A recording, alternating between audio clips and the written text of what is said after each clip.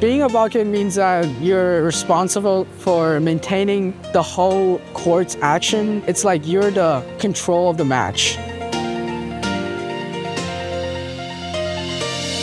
As a ball kid, my favorite part is definitely being on court with the players because it's like, you know, they're directly talking to you. You feel important. I love feeling the vibes of the audience, the players, and even the ball crew, our team itself. It's really a fun experience for me. I've learned a lot about professionalism, how to act around professional athletes, and you just gotta work hard, run fast, and be respectful.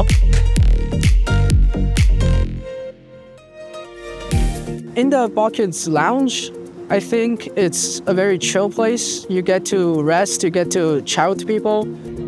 You're all in the lounge together, you're all hanging out. You have this like one common um, interest. You just have something to talk about always, and everyone's really great. There's like probably over 100 ball kids, so I've made friends with a lot of people. People come from out of town, a few from out of country actually.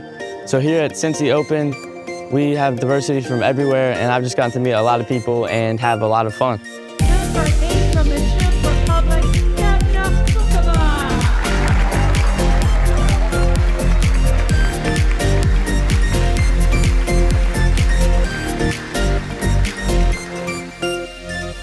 I feel like most people go to the tryout are familiar with tennis itself.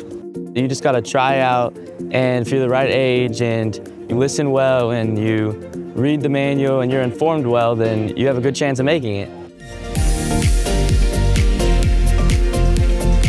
I think the Cincy Open, it is genuinely a once-in-a-lifetime experience.